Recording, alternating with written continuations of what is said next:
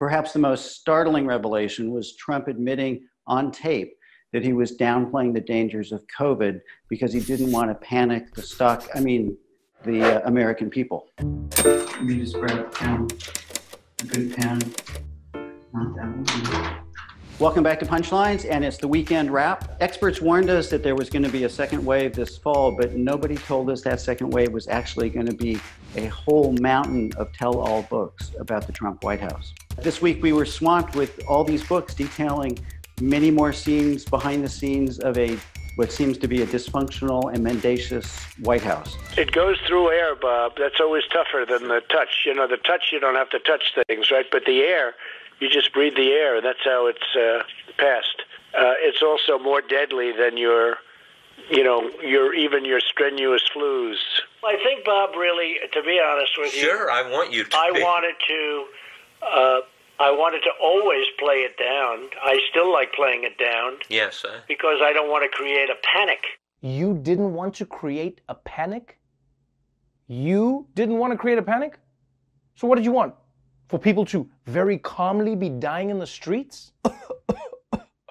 What's wrong, buddy? I'm dying. But it's chill.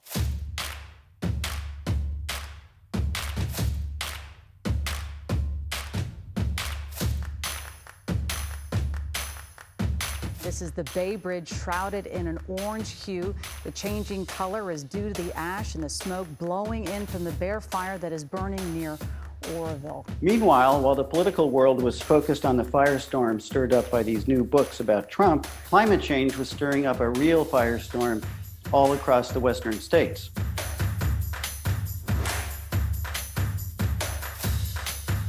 It turns out that the White House is also interested in downplaying the extent of Russian interference in our election. A senior DHS official came forward this week complaining about White House interference in his investigations.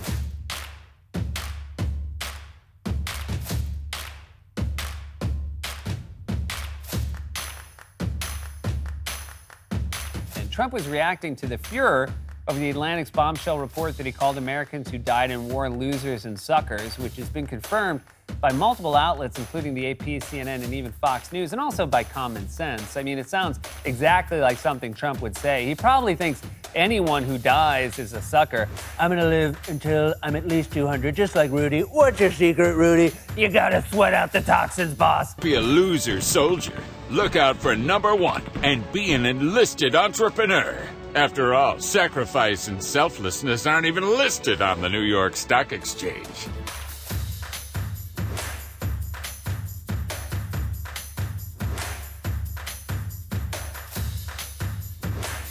Blue America seemed obsessed with the Trump tell all books, while Red America was celebrating the fact that Donald Trump had been nominated for a Nobel Peace Prize.